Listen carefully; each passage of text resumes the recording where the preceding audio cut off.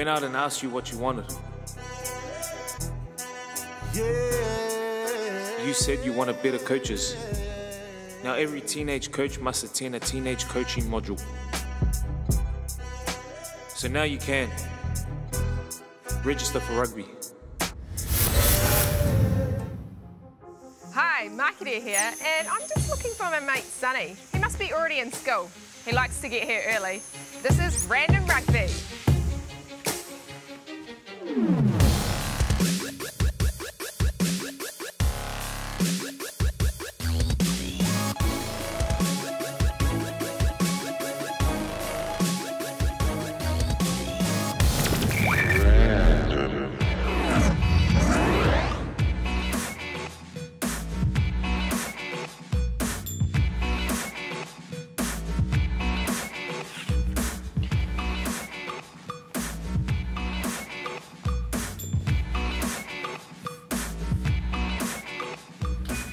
You copying me?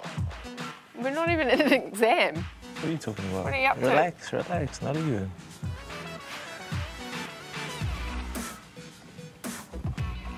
So, did you ever cheat in an exam at school? Never. Really? Maybe. What little cheating tactics did you use? Uh, the old writing on the thigh Oh, yeah? inside here. You ever do that? I did the leg one, but I wrote on a little piece of a little notepad and I put it in my pocket and then I'd ask the teacher to go to the toilet. So I'd go to toilet, quickly have a look. It was always the science symbols and the math symbols and then go back in and I'd remember them. And did you pass?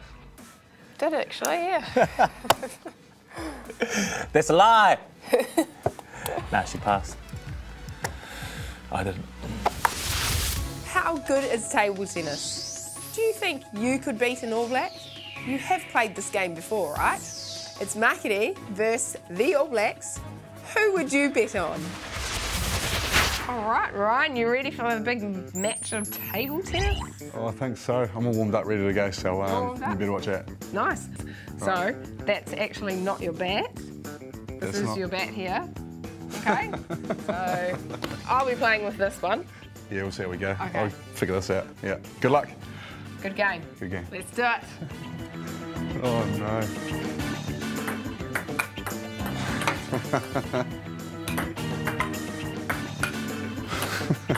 oh, that's in, isn't it? That'll count. That'll count. Okay, okay. I'm playing off the walls. Thought I'd give you the survey. Oh, it's not here. Great serve. Good start. Right, zero one. Yeah.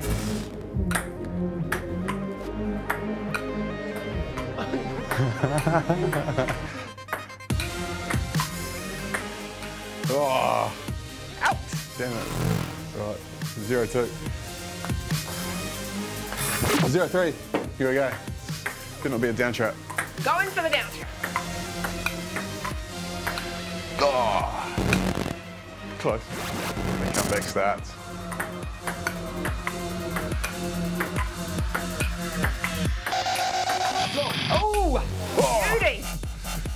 Five one. you Five win. one.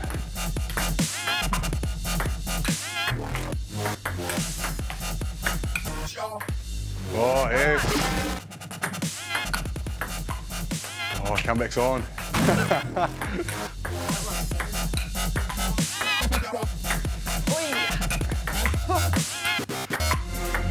Rally of the day. Oh, no! Got him. Right, pull something out of the bag here. 10 3, match point. Match three. It's going to be a heck of a comeback.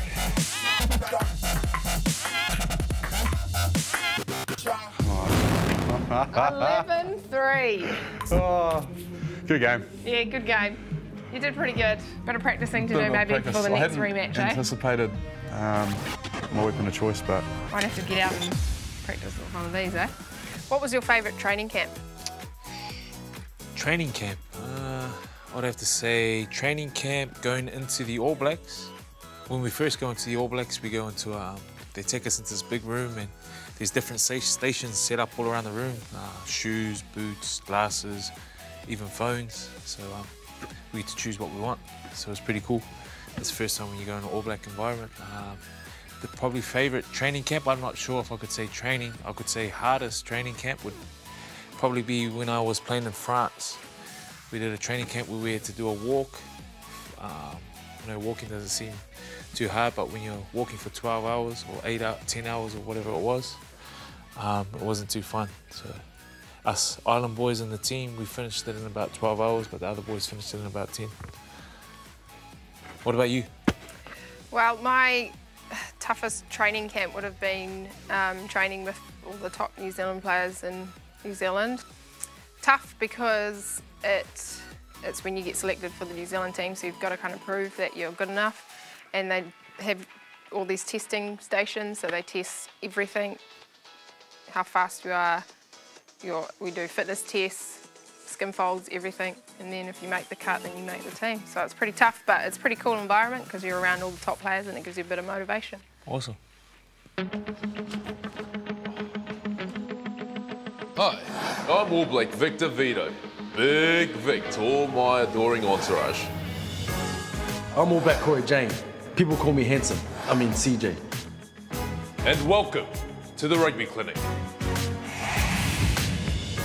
The Rugby Clinic is an intense two-day camp for new rugby players keen to learn the basic skills. If we can't improve your game out of sight, then you're out of sight. Okay, my young apprentices, I've got a question for you. How much is a try worth? Five points? That's right. Points on the board for sure. Most people think scoring the try is the most important thing. Mm-mm, but it ain't. Oh, no, it ain't. Fill them in, Big Vic. That's the next thing that you do that really makes the grade, gets you onto the highlight reel. Your celebration, it's your time to shine. Watch and learn.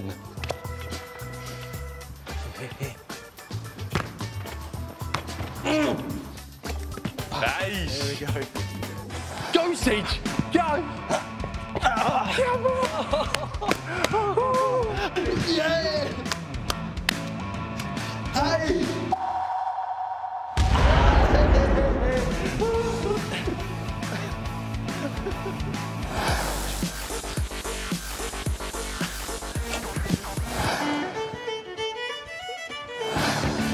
Oh, this is awesome! you are a You're light. Give me a 10.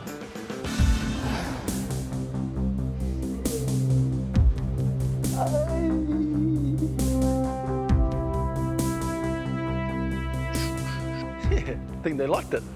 Oh, jeez, what's the time? Oh my, my God, we're missing Shortland Street.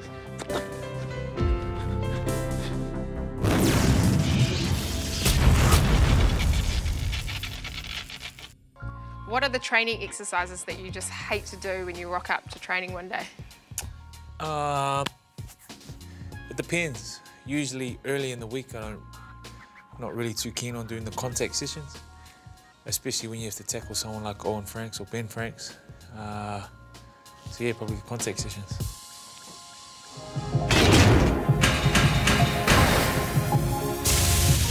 This is SBW Skills, and today I'm going to show you how I fend.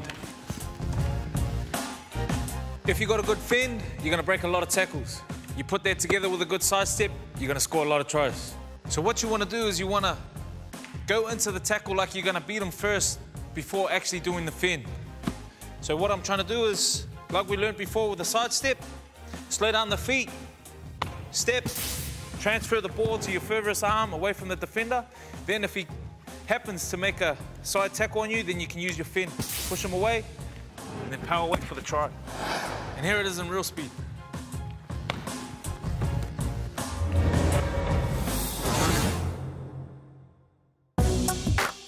If you want to be serious, then you've got to get one of these. It's called a medicine ball.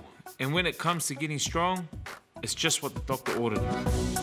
This works the shoulder, elbow, wrist, back, and chest. Just about everything, including your coordination. If you do 100 of these a week, then a rugby ball is going to feel like a feather.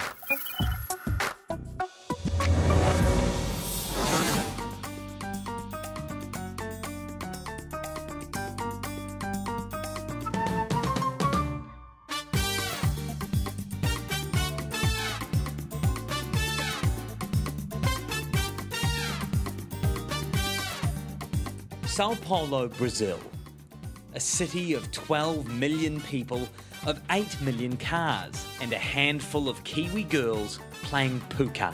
Hey, pukana! Pukana! Pukana!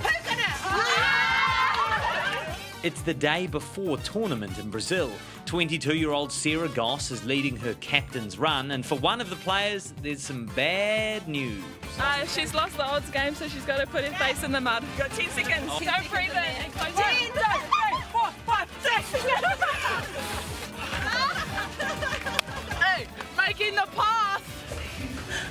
Seven, Thailand April one.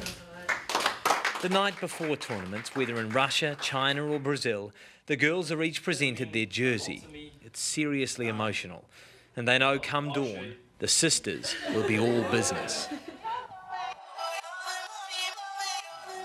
Yeah, and it's time that we break out. Representing for benefits in the state house. Living like they were given instead of make out. This is a rare insight behind the scenes with the New Zealand rugby team. In the changing room, it's quite cool because it's just us, and with the flag and stuff, it reminds us of being back home. A chance to see the pre match rituals, the walls lined with history, the inspiration for a team in the black jersey. So that's my dad when he first made the All Blacks in 1984. And um, that's the photo that they had in the newspaper with my mum and dad. I like having my sisters um, beside me and on my arm. The mood here is one of nervous energy, of confidence. You've got to get into the zone, and different people have different personalities.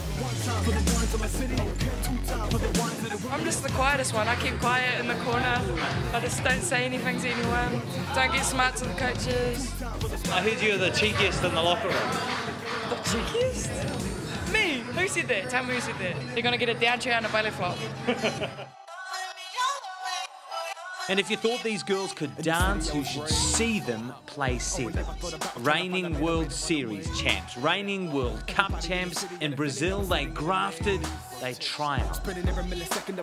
Another series win for the.